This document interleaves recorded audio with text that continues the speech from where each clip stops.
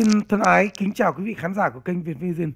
Đã khá lâu rồi chúng ta lại gặp lại một à, khách mời, một diễn giả khá quen thuộc đó là ông David Nguyễn chúng ta hay quen gọi cái tên mà rất thân thương ấy. Có lẽ là dù một cái tên là khác nhưng mà khán giả có lẽ vẫn quen gọi là tên Đức Đồ Bạc. Nên là thôi chúng ta cũng dùng cái từ quen thuộc vậy. Không thì à, gọi một cái tên hùng quốc Việt vân vân thì người ta cũng nhiều người vẫn quen gọi ông Đức Đồ Bạc có lẽ nó là một thương hiệu rồi. Nên là thôi chúng ta vẫn dùng ờ, từ đấy. Bác Đức nha. Dạ uh, vâng. phải nói đâu mời bác là... chào khán giả vâng. Trước nhất là là phải nói là một thời gian là khá lâu. À, không có gọi là giao lưu trên uh, tương tác gì trên uh, là việc vision cả. À, hôm nay là một trời gọi là rất là lạnh lẽo à, dưới 30 độ à, ở bên Hoa Kỳ à, đáng lẽ trong thời điểm này thì à, à, cá nhân tôi sẽ có mặt ở tại gọi là Hà Nội nhưng mà trong cái hoàn cảnh à, có những việc phải à, phải làm vì vậy nên không thể nào về Hà Nội à, tham dự gọi là xuân quê hương và đặc à. biệt đó là à, ủy ban người Việt ở nước ngoài à, có một chương trình đặc biệt à, cho những người được gọi là chiến sĩ Trường Sa tức là những người đã từng tham dự gọi là chuyến đi Trường Sa trong vòng 10 năm qua. Mà cá nhân tôi là được tham dự ở hai chuyến đi và chuyến cuối cùng là vào năm 2022 vừa qua. Phải nói rằng là à, hình ảnh à, là Hà Nội trong những ngày Tết thật là vui phải nói là thật là vui mà tôi chỉ được nhìn qua uh, các kênh uh, YouTube trên hình ảnh mà thôi. Uh, đặc biệt là ngay cả ở trên uh, kênh VTV uh, là đài chính thống của Việt Nam. Thì vậy nên uh, đó là một sự gọi là mất mát. Phải nói là rất là mất mát là không được về uh, Hà Nội năm nay uh, để mà tham dự uh, xuân quê hương. Uh, vì vậy nên uh, hôm nay được uh, là dịp trở lại với là khán thính giả của Việt Vision là một sự là rất là quý. À, lâu lắm rồi phải nói là lâu lắm rồi không có um, lên kênh của Việt Vision à, ờ, để mà tham dự. À, cũng thấy à, có cái gì đó hơi nhớ nhớ. À, nhất là năm vừa rồi à, có gặp Bảo Trâm ở tại Hà Nội. À, anh em có à, làm rất là nhiều cái clip à, xung quanh rất là nhiều đề tài. Và hôm nay là cũng là ngày đầu xuân. À, à, thấy là bảo trâm có à, à, đi cành đào. À. nhớ đến cho à, vâng. cho, nhớ nhớ cho nhớ tới cho cảnh tết. Và những cái điều mà à, phong tục Việt Nam. Phải nói là phong tục Việt Nam mình á, không có gì à, à, mà vui. Vui người ta thường thường người ta hay dùng là vui như tết đúng không? Vì vậy nên cái ngày tết là cái ngày mà à, rất là vui vẻ để mà tất cả gia đình được gọi là hội ngộ. À, riêng năm nay á, là phải nói là là cả hai à, quốc à, nội cũng như là ở hải ngoại à, trong nước cũng như ngoài nước à, mọi nơi đều có những cái à, cuộc vui những cái tết những cái cuộc sum họp những cái hội chợ à, để cho tất cả người việt à, trong và ngoài nước à, được vui xuân. Phải nói là rất là vui. À, tại vì sao? Tại vì hai năm qua vào việc gọi là covid à, covid 19 à, không có được gọi là những cái sinh hoạt như vậy. Vì vậy nó hai năm qua à, phải nói là là có sự gián đoạn về vấn đề gọi là tổ chức. À, năm nay à, thì được biết rằng à, là ở hai phi trường phi trường nội bài cũng như là phi trường gọi là tân sinh nhất là đầy đầy gọi là khách à, à, người việt à, trở về quê hương để thăm à, gia đình gọi là vui với là xuân ở tại Việt Nam. À, phải nói là đó là một cái Tết thật là vui à, để đánh dấu một cái bước gọi là à, 47 năm từ ngày à, là đất nước thống nhất tới giờ này. Tôi nghĩ rằng năm nay là một cái năm gọi là vui xuân rộn ràng nhất từ trước tới giờ. À, bao nhiêu năm nay tôi được nhìn thấy à, được nhìn thấy trên gọi là cảnh cũng như là chưa được tham dự cái cái Tết nào mà vui như thế ở tại Việt Nam thì vậy nên uh, hôm nay là nhân ngày đầu xuân thì uh, muốn uh, là uh, nói lại uh, của một người mà xa xứ. Phải nói riêng riêng cá nhân tôi là à, rời khỏi Việt Nam từ năm 70 tới giờ này thì phải nói là nó là một thời gian dài trên 50 năm à, à, trên nửa cuộc đời của mình à, sống ở tại hải ngoại nhưng mà được cái diễm phúc rằng là hàng năm vẫn được đi về Việt Nam vẫn được đi về gọi là để vui xuân với là những người thân ở tại Việt Nam.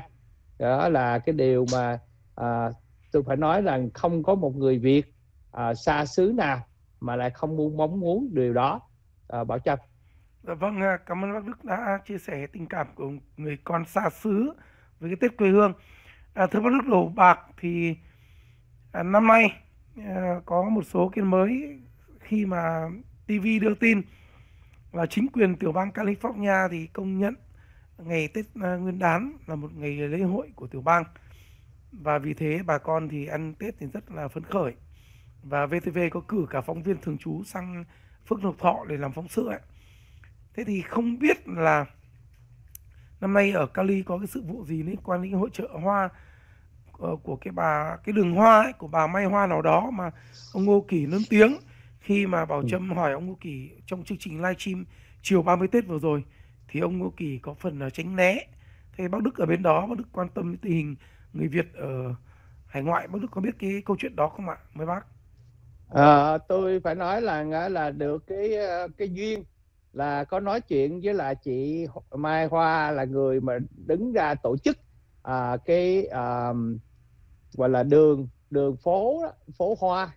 Đây là lần đầu tiên à, chị có được một cái gọi là dịp để mà trưng bày à, hoa.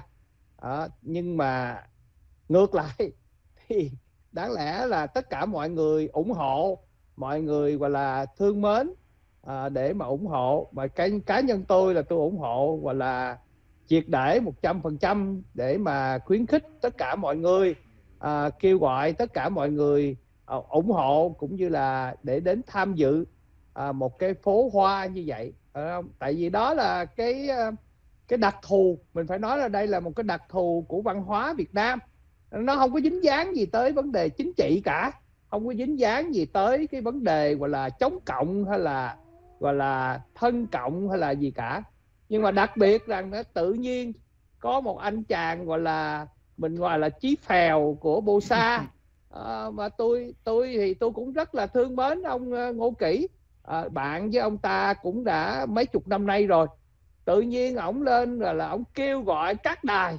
Phải nói là kêu gọi kêu là À, rầm rộ các lãnh đạo các lãnh tụ của các hội đoàn gọi là để mà phản đối chống đối chống đối lại cái việc làm của là uh, chị Hoa chị và chị Mai Hoa đó thì tôi phải nói rằng uh, tôi không có biết cái lời nói nào hơn là trách móc không? Một cái người mà mình phải nói rằng đó là cái việc làm của cái ông ngô kỷ chí phèo đó, đó là không nên làm. À, người ta có cái câu rằng á mình đã không đóng góp được mình không làm tốt đẹp hơn thì mình đừng nên phá hoại thì à, ông ta là một cái người mà gây ra rất là nhiều cái sự tranh cãi. Đó thì à, thật sự ra đó thì đây là cái lợi cái mối lợi của ông. Khi ông tranh cãi như vậy ông phản đối như vậy ông làm những việc làm như vậy thì nó có một cái phần lợi cho ông. Vì vậy ông chỉ làm. Chứ trên đời này á, mình phải nói là chẳng có cái chuyện gì là không có lợi mà chí phèo lại làm hết đó vì vậy nên phải nói đây là cái việc của ông chống chống chống trực uh, gọi là tích cực ờ, trong cái việc làm là chống lại cái việc mà phố hoa đó của chị Mai Hoa. Vì vậy tôi không thể hiểu được là tại sao ông chống phải không?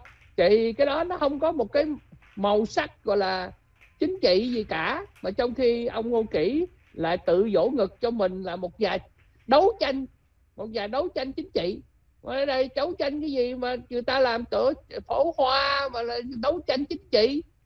Không có một cái, gọi là, ý tưởng gì hết và một cái quan điểm rất là, tôi phải nói là rất là phản cảm cho cái việc làm của ông. Vậy đó là tôi phản đối cái điều đó, tôi đã, gọi là, trách móc, gọi là, cái việc làm của ông Ngô Kỷ về chống đối cái việc đó.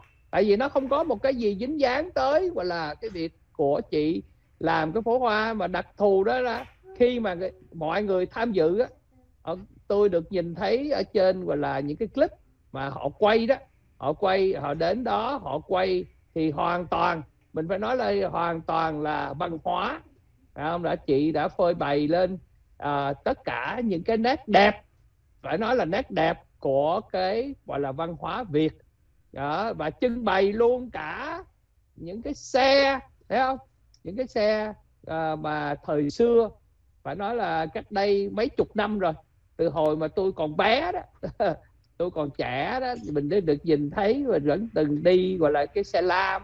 Mình đã từng đi cái xe gắn máy. Ở thời mà à, thập niên 50 60 mà tuy tôi còn rất là trẻ ở tại Việt Nam. Để gợi nhớ lại ở trong cái ký ức của mình về cái Việt Nam ngày xưa. Thì đó là một cái điều đẹp. À, nếu mà một người nào đó mà tổ chức những cái việc như thế thì tôi luôn luôn tôi phải nói là tôi luôn luôn ủng hỗ trợ cái việc làm. Vì vậy nên cái việc làm của ông Ngô Kỷ vừa qua đó là phải nói là đáng gọi là phê phán không nên. Mà ông là một người phá rối vậy là phải nói là phá rối cộng đồng. Không? Để, để đưa lên những cái chuyện gọi là rất là tiêu cực mà chuyện là không phải là sự thật à, bảo trâm. Vì vậy nên à, cái điều đó là cái điều mà mình đáng lên án tôi nói đây là đáng lên án là ngô kỷ. À vâng. Thế mấu chốt ở vấn đề theo bác đức thì lý do chính ý, ông ngô kỳ phản đối việc đó là gì ạ? Bởi vì chung quanh cái lợi. cái, việc đó là cái lợi cái cũng có nhiều dư cái tiền thôi. Tiền ở đâu ạ? Tôi tôi tôi trả tôi trả lời tôi trả lời thẳng thắn. Khỏi cần phải suy nghĩ gì cả. À, ông Ngô Kỷ và ông mà chống đối cái việc gì đó đó rồi sau đó mà quý vị thấy là ông lại quay ra ông ủng hộ đó. Ông ủng hộ hay là ông quay qua đó ông không còn nói gì cả đó. Thì quý vị biết rằng là, là người ta đã à, mình dùng cái chữ hơi nặng nề đó đã đóng vào mõm của ổng một số tiền. Không? tức là đương nhiên là phải có một cái lợi nào đó. Thì vậy ổng mới làm. Chứ còn ngô kỹ là không bao giờ làm cái việc gì đó mà không có lợi cho cá nhân của mình cả à, chẳng có cái chuyện chống cộng chống kiết gì cả. Tôi phải nói vậy. Tại tại vì chính ổng là một cái người mà là tôn trọng cái lá cờ vàng là ổng nói là ổng là một người chống cộng đấu tranh. Mà ổng lại nói là tôi sẽ sẵn sàng đốt cờ vàng. Phải không? Sẵn sàng đốt cờ vàng mà nếu ai đó mà cho tiền phải không? Là ổng sẵn sàng đốt cờ vàng gì vậy thì cái chính nghĩa đâu? Mình phải nói rõ rõ rõ ràng thì khi mình đã có một cái chính nghĩa thì không thể nào mình dùng cái đồng tiền để mà mình mua cái chính nghĩa của mình được. Vì vậy nên tôi khẳng định với quý vị rằng đây là một sự khẳng định, chứ không phải là là chỉ có nói mà không chứng minh được. Đây là cái chuyện là là ngô kỹ là chỉ có nghĩ tới cái mối lợi mối lợi cho cá nhân của ngô kỹ mà thôi. Không có cái chuyện mà chống cộng, chống kiết gì cả. Vâng cái việc mà ông ngô kỳ phát ngôn là sẽ sẵn sàng đốt tự cờ vàng nếu mà ai cho ông ta tiền thì cái câu Đúng. này uh, không những ông ta phát ngôn ở trên kênh của ông Vũ Hoàng Lân mà có lên kênh Việt Vision phát biểu ở trên Việt Vision rồi. Đúng. Thế thì uh, khi mà có nhiều người căn uh, vặn ông Ngô Kỳ thì ông Ngô Kỳ cũng nói là đấy là một cái bẫy bởi vì là ông, ông ta nói là sẽ đốt cửa vàng nếu cho ông ta tiền nhưng mà số tiền bao nhiêu ấy thì ông ta không nói do vậy là, là biết bao nhiêu cho vừa do vậy là ông ta trả lời như vậy tức là cái câu đó của ông ta là, là nói như vậy là, là là để cho cái đối phương sẽ không biết là cái mức tiền bao nhiêu thì ông ta sẽ đốt. Đốt cờ vàng á đó. Tôi tôi tôi đã tôi đã nói khẳng định rằng á khi mà một cái người người ta nói như vậy đó là tôi hỏi rằng á à, quý vị à một người nói rằng à, tôi sẵn sàng đốt cái lá cờ vàng đó là cái biểu tượng của ổng. Ổng ôm ấp cái biểu tượng đó bây giờ ổng lại dùng cái cái cái đồng tiền cái vật chất không? Đã để mà xóa bỏ đi. Thì con người như vậy đâu có đáng để mình nói. Đấy không? Cái, cái chuyện của ông nói cái lời nói của ông nó không có còn được tôn trọng nữa. Đấy không? hoàn toàn. Giống như một đứa con nít vậy thôi. Đấy không? Vâng. đứa con nít thì nó đâu có biết rằng là cái cái giá trị gì cả đâu. Đấy không? Thí dụ mà đứa trẻ đó thường thường người ta hay dùng à, cái vật chất thí dụ cho nó cái viên kẹo để cho nó cái gì đó, cái bánh, cái trái gì đó, thì là nó sẵn sàng nó làm lên. Tại vì nó thiếu sự suy nghĩ. Nó đâu có, giống như là một người trưởng thành, mình còn có những sự tính toán, mình còn có những sự suy nghĩ. Phải không đã? Cái việc đó có đáng hay không đáng? Phải không? Cái việc làm đó có đúng hay không đúng? Phải không? còn đây à, vì cái đồng tiền, vì cái cái mối lợi cá nhân mà mình làm thì cái chuyện đó tôi khẳng định với quý vị rằng, khẳng định với khán giả rằng, cái việc làm đó là cái việc làm không đáng cãi cái việc làm đó là việc làm vô nghĩa Vâng, cảm ơn ờ, bác Đức Lô Bạc cũng có một cái góc nhìn và một cái thái độ phê phán nó quyết liệt. Thưa bác Đức là cách đây vài năm thì ở VTV có phỏng vấn bác Đức về một cái việc mà bão tuyết kỷ lục ở Hoa Kỳ. Thế năm nay tình hình bão tuyết như thế nào ạ? Bởi vì thấy ở trên mạng họ đưa lên rất nhiều hình ảnh nó khủng khiếp nào là kể cả người ta gọi là bom bom tuyết ấy hay là Dạ. cái gì đó tương đương ấy thì bác à, có ý kiến gì nhận xét gì về cái tình hình bão tuyết tồi tệ ở Mỹ năm nay? bà bà bà bà Trâm thấy là à, bữa nay à, bác Đức phải bận áo như thế này là bà, bà Trâm Ờ. biết rồi Thấy không đã mặc dầu là Ờ. đó là à, đã vặn gọi là gọi là hít tức là à, độ nóng ở trong nhà đó ờ, lên trên rất là cao lên tới 80 mà vẫn còn cái gió lạnh rít, rít ở ngoài vẫn còn nghe tiếng gió ở bên ngoài thổi qua gọi là cửa.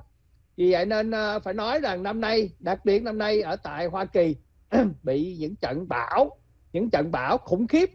Và nhớ lại là, là một năm vừa qua đó thì là phải nói là tôi cũng ở trong căn nhà này.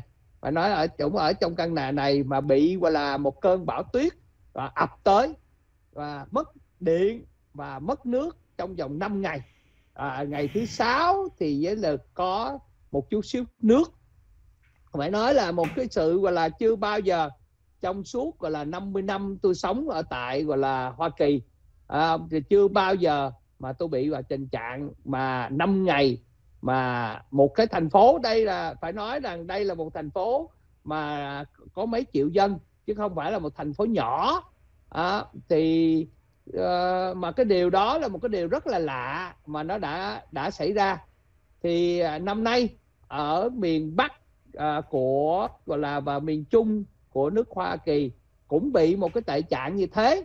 Đó là một cái cơn bão tuyết nó đã vừa mới ập tới và cái số nhân mạng à, nó có à, được gọi là tiểu, mỗi tiểu bang nó có một số người đã thiệt mạng vì cái cơn bão nhất là ở trên miền Bắc của gọi là, là Hoa Kỳ đó là họ thiếu họ thiếu gọi là điện họ thiếu gọi là à, sự hửi ấm á, à, và những cái người mà vô gia cư phải nói đây là những người mà sống ở ngoài lề đường đó thì họ họ bị chết cống tại vì họ không có gọi là sưởi được sưởi ấm. Đó là một cái tệ trạng mà của Hoa Kỳ hiện thời bây giờ mà chính quyền phải phải đối phó. Chính quyền là hiện thời bây giờ đó là phải nói với là Bảo Trâm rằng á, là ở tại tiểu bang California, nghe không? Tiểu bang California là một cái tiểu bang phải nói là tượng trưng cho nước Hoa Kỳ. Đó, một tiểu bang nó chạy dài hoặc là mấy cả ngàn cây cây số như thế. Mà thành phố là khi mà nói tới, gọi là Hoa Kỳ, mà nói tới là thành phố Hollywood, tức là nơi mà phim trường, đóng phim á đó, thì quý vị biết rằng á, là đó là những cái vẻ đẹp của Hoa Kỳ. Vậy mà cái người mà gọi là vô gia cư á sống gọi là người ta làm cái lều á người ta làm đóng mấy cái thùng gỗ mấy cái thùng gọi là giấy á để mà người ta trú trong đó đầy đường hết. Tôi phải nói là đó là bữa nào đó thì tôi sẽ gọi là làm những cái khúc phim gọi là tận mắt cho gọi là khán thính giả của Việt Vision thấy được gọi là những cái người mà người ta sống vô gia cư đó. Ok, người ta sống ngoài lề đường như vậy đó. Rồi người ta đi ra ngoài người ta xin à, một hai đồng để mà sống qua ngày. Đó là một cái tệ trạng. Tôi phải nói đây á, là một cái tệ trạng gọi là à, chính quyền hiện thời giờ phải đối phó. Đó là những cái người vô gia cư.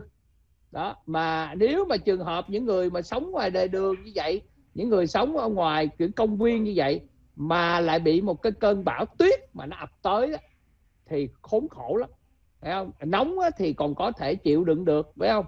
Nhưng mà lạnh á, thì mình nói là dù trần có có gọi là đắp bao nhiêu cái à, cái mền bây giờ nữa mà nó vẫn lạnh. Nó lạnh tới gọi là bấu xương luôn. Mình có thể cảm thấy được cái cái sự lạnh lẽo đó. Đó thì tôi phải nói là là uh, khốn khổ lắm. Thì khi mà mình đã không có nước nha à, tại vì không có điện thì thường thường đó là nó có cái máy bơm phải không? Cái máy bơm nước ở nhà ở tại quanh Hoa Kỳ đó là họ có à, à, máy máy nước nóng ở trong nhà. Thì khi mà máy nước nóng như vậy đó thì nó chỉ có hai cách thôi. Một là xài bằng ga phải không? Hai là xài bằng điện. Mà nếu bây giờ mình không có cả hai cái đó đó thì đương nhiên là không có nước nóng. Mà không có nước luôn. Tại vì nó không có bơm được nước tới nhà của mình không đã hoàn toàn là bị cắt đứt, gọi là nước và điện. Đó là hai cái mà mình phải nói là cần thiết trong cái đời sống hàng ngày ở tại Hoa Kỳ. Mà nếu mà mình không có được hai cái đó là kể như mình gặp nhiều khó khăn lắm. Không? ở đây là ở trong thành phố phải giống như bên Việt Nam mà mình đi có thể đi đào nước giếng được. Mình có thể đào giếng rồi mình lấy nước lên được, cái đó không có. Phải hoàn toàn không có nhà tôi ở tại, gọi là Tây Ninh đó thì uh, có nguyên một cái gọi là uh, gọi là cái giếng nước ở trong nhà ở cái trong ngoài đất á, ở ở ngoài ngoài ngoài đường ngoài trong cái khuôn viên của nhà đó. Thì có đào một cái gọi là cái giếng nước từ xưa rồi. À, bơm lên đàng hoàng nhưng mà phải có điện phải không?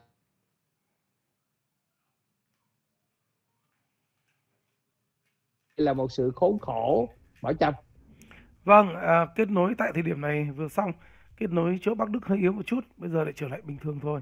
À, bác đức ơi ở bang à, bác đang sinh sống thì bác có quan tâm đến việc bầu các cái ông nghị viên của thành phố của mình không? Và có cái ở, ở nơi bắc đức sống ý, Hilton ấy thì có hiện tượng mà các ông nghị viên phe nọ phái kia đánh nhau loạn xạ như ở dưới à, quận Cam không bác? À, rất là may mắn phải nói là ở rất là may mắn là Texas á, à, chỉ có một cái người gọi là dân biểu thôi. Còn à, nghị viên á, thì không có. Vì vậy nên à, nó may mắn là là à, không có những cái sự tranh cãi. À, à, khi mà mình có ở tại Hoa Kỳ thì phải nói rõ ra đó ở tại Hoa Kỳ nó có hai đảng hai đảng chính trị. Đó là đảng Dân Chủ và đảng Cộng Hòa thì thường thường là khi mà mình nói là khi có hai đảng như thế thì đương nhiên là nó có sẽ có những sự tranh cãi à, những người mà người ta binh vực cái đảng của mình. Ví dụ như những người đảng viên của à, ứng cử viên của đảng cộng hòa thì đương nhiên họ sẽ binh vực cái đảng cộng hòa và đương nhiên là họ phải gọi là phản kháng phản đối à, cái đảng à, là dân chủ. À, thì nó sẽ có tạo ra những cái sự tranh chấp để những sự gọi là lời qua tiếng lại. Nhưng mà đặc biệt là ở tiểu bang Texas thì không có cái điều đó. Rất là may mắn là người Việt người Mỹ gốc Việt á à, không có. Chỉ có là người bản xứ. Thì đương nhiên là người bản xứ là khi ra tranh cử á, thì đương nhiên trong cái mùa mà tranh cử á, là nó có rất là nhiều cái việc mà xảy ra. Vì vậy nên trong cuộc bầu cử vừa qua đó là ở tại Texas không có như là ở bên Cali. Ở bên Cali á, thì quý vị thấy đó là những cái chức vụ như là nghị viên những cái chức vụ như là thị trưởng là có người Mỹ gốc Việt ra tranh cử. Vì thế nó có cái chuyện là tranh chấp. Tôi phải nói là là đây là những sự tranh chấp à, mà mình phải nói là nó thiếu nó thiếu cái sự đoàn kết. Tại sao? Là tại vì chúng ta là đều là người Mỹ gốc Việt tức là mình đều là người à, từ gốc từ Việt Nam. Thì đáng lẽ chúng ta phải đoàn kết và chúng ta nêu cao cái màu áo Việt của mình ra. Trong khi đó lại vén áo vén áo cho người xem lưng. Tức là nói xấu lẫn nhau. Đó là tranh cãi và chửi bới. Tôi phải nói là là trong cái cuộc gọi là những cái cuộc gọi là tranh luận đó à, những cái cuộc gọi là hội họp của thành phố đó, ok nó xảy ra những cái việc là lời qua tiếng lại. Và có những lời mà những chữ rất là khó nghe. Tôi phải nói là nó rất là khó nghe. Cái cái cái cái cái cái đặc biệt của văn hóa Việt Nam của mình đó là cái sự tôn kính đúng không? Mình luôn luôn là mình phải tôn kính lẫn nhau. Mình ở nơi công cộng á là nơi mà đông người mình không có nên dùng. Nhất là công khai thì mình cũng không thể dùng nhiều danh từ. Giống như là mình à, dùng và người ta hay thường nói đó là uh, danh từ uh, chợ cá ví dụ danh từ gọi là giang hồ đó những cái điều đó là mình tránh né. Nhất là mình là một vị dân cử thì khi mà một vị dân cử á, thì người ta đòi hỏi mình phải có một cái đức độ không? một cái sự gọi là à, noi gương. Mà nếu bây giờ mà mình làm như thế thì à, à họ thấy mình có thiếu cái tư cách để mà làm một cái vị dân cử. Đó, thì vậy đó là một cái sự thiếu sót của những người mà là dân cử gốc Việt người Mỹ gốc Việt ở tại tiểu bang California. Dạ vâng, như vậy là ờ, có lẽ đặc uh, sản của vùng California ở trong cái cộng đồng sinh hoạt người Việt ấy là cái việc đấu đá với nhau và biểu tình với nhau thì bà con trong nước thì đã rõ rồi và cũng may mắn là Bắc Đức ở một cái tiểu bang mà nó không có tình trạng như vậy để đỡ cái bộ mặt xấu xí của người Việt nó đỡ bị phơi bày cho cái người ngoại quốc Ờ, họ họ coi thường. Nào như tổ quốc của tôi? Đất cha ông chưa nguôi ngày đoàn tụ, trong nguy nan vẫn gồng lên giữa